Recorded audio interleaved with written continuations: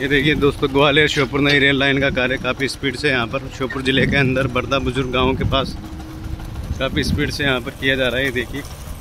और ये बेस यहाँ पर, ये देखिए, पूरा बेस यहाँ पर बनकर कंप्लीट है बर्दा बुज़ुर्ग गाँव पर। और ये देखिए, काफ़ी स्पीड से कार्य यहाँ पर किया जा रहा है। नई लाइन नई rail line Gwalior and Sheopur.